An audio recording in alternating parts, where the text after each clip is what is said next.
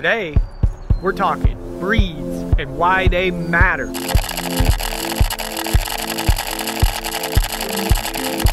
Labrador Retrievers are and have been the most popular breed of dog in America for a very long time.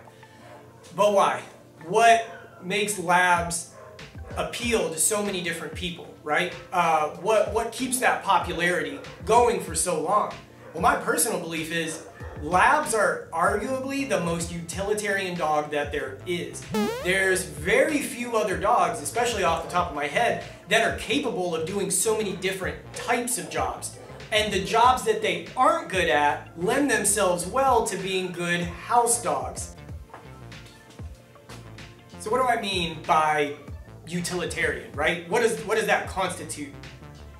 Well, here's a short list of things I've personally trained labs to do.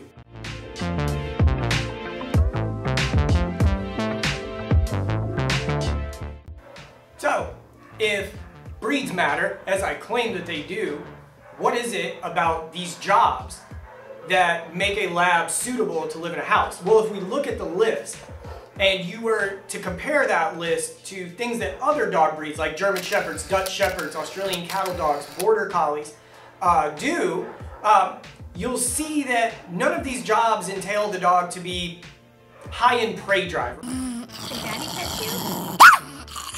Hunt drive? Yes. Wanting to search for extended periods of time. Imagine you have an open field, say, right? And you throw a toy into that field. Hunt drive is the amount of time, or gauging the hunt drive is the amount of time that that dog will search for that toy.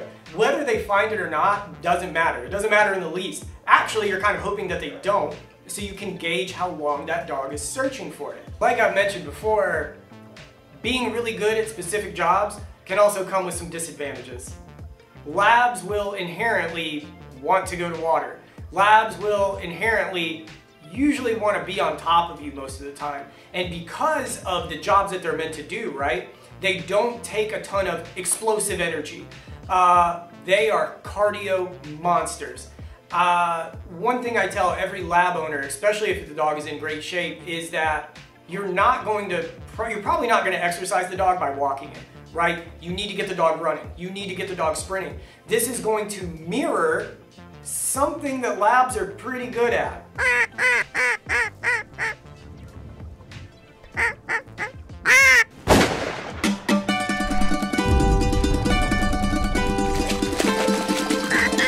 So in short, putting everything together, if you're in need of a good boy or a good girl at home, they are awesome companions. If you want to go out and run, they want to go out and run. If you want to lay down on the couch and watch a movie, they are super happy to lay down next to you.